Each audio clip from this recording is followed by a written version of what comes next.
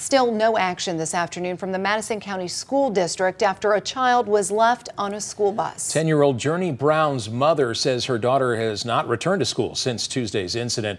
WAAY 31's Jillian Kay is following up on this story we broke just 24 hours ago. She's live at the Madison County Transportation Facility to give us their response. And Jillian, we understand you also reached out to district leaders as well. Yeah, Dan and Marie. I reached out to a spokesperson for the Madison County school system. Says the district is unable to provide a statement at this time. However, the district did confirm Brown was left on her Moores Mill Intermediate School bus and ended up in the Madison County Transportation Department parking lot. Journey's mother says she is nonverbal and has Down syndrome.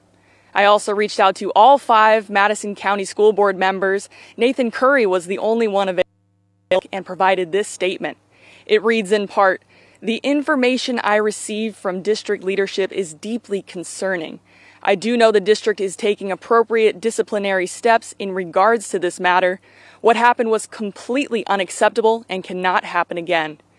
Now, Journey's mother tells me there's a video from inside the school bus that day, but she has not been shown that video. As far as what's next for Journey, her mother says that she will never be uh, allowed to ride the school bus again. Live in Huntsville, Jillian Kay, WAAY 31 News.